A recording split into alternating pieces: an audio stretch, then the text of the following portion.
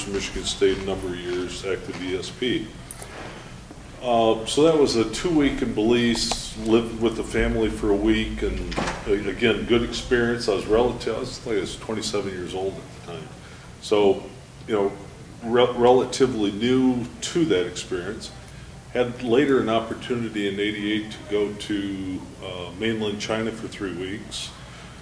Um, Various places, that, that was close to being a tourist, but we we're working with poultry, so not, not that much. Uh, Then in 90 went back to a marketing experience, Japan, South Korea, and Guangzhou, uh, China.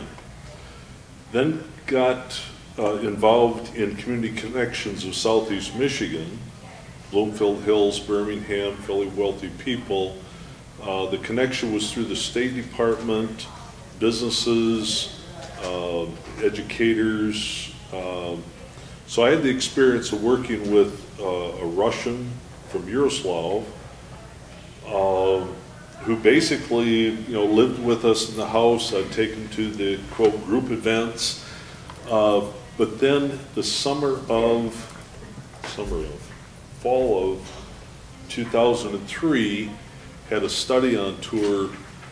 And so I joined the group, but uh, specifically had the time to spend with the individual that was with me. Um, and then traveled to various other places, including uh, Ukraine. Uh, Since then, had another follow-up uh, with an individual from Kursk, south of Moscow. Um, And, and then there was some other, other connections, but I never would have worked with that Community Connections group of Southeast Michigan and the business people that, that involved. Uh, You know, I was the ag guy, but auto dealer and, and other people were involved, if it weren't for that international experience. And so the, the Bloomfield, the, the, the wealthier Southeast Michigan folks got to see what MSU does in the vastness of agriculture and, and so that was kind of my input and what I think I brought back to internationalizing the Southeast Michigan and the people that I worked with. My name is Jennifer Smith, and I'm a county extension agent specializing in horticulture. And I traveled to Japan in 2009 to work on a joint project. There were 10 um, Kansans and 10 Japanese people working together on a local food systems project. And we wanted to learn about each other's ways of marketing and producing uh, fresh fruits and vegetables and hopefully learn from each other. So we spent a week staying on farms in Japan and learning about their cropping systems and their marketing for local and organic food.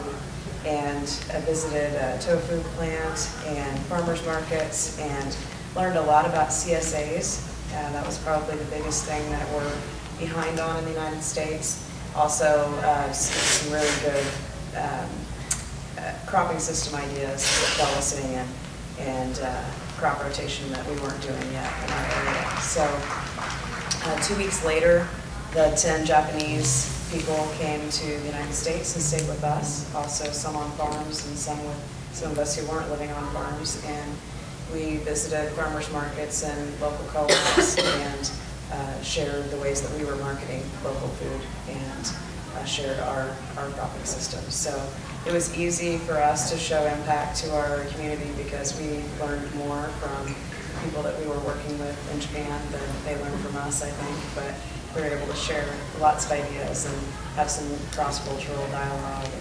So great experience. Um, would love to continue it. Haven't had the opportunity yet. My name is Jim Todd. I'm the county extension coordinator in, in uh, Mobile County, Alabama. Alabama's had a, had a history, I mean, it goes way back of, of working, you know, uh, in different, different countries. In Brazil, in agriculture, Brazil has been a country that, especially in the fisheries area, that they've worked in for a long time.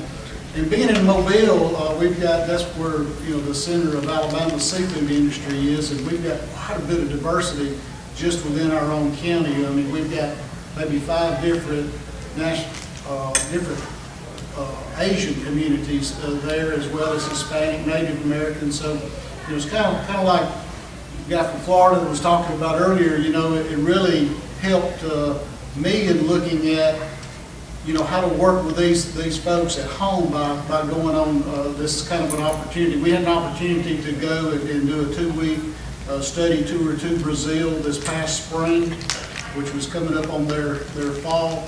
And uh, it was very interesting. It was a knowledge exchange, it's an information exchange. We went there not necessarily to teach anyone, but to actually learn. And when you look at agriculture in Brazil, there's, a- their technology is as advanced as ours. We learned a lot, and the farmers and the producers in Alabama are, um, are looking to, I mean, they're making these trips. They're looking uh, to other countries to look at their technologies now. And, uh, and we had an opportunity to do that. So I think it's all a matter of being able to relate and uh, with your producers, relate with your communities back home, uh, relate with your coworkers, and hopefully, uh, you know, grow extension in Alabama by, by, you know, experiencing these type of things. And, and that's kind of the perspective that, that, that we took. I guess the reason someone asked, you know, why did we come in here? Uh, the main reason I came in here is I, I, this is wonderful. I, I mean, uh, I, I think it's very good. I came in here to, to, to maybe hear how you're, how you're actually sharing it back into communities, how you're relating that information back from a public value standpoint, because that's what I'm struggling with right now. How do I come back and share this information, this experience with my local community so that they buy into the public value of it as much as we have?